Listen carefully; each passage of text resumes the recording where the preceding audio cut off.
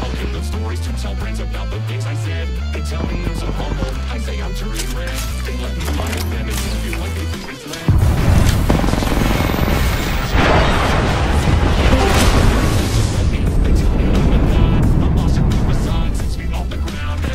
Hi, Trash.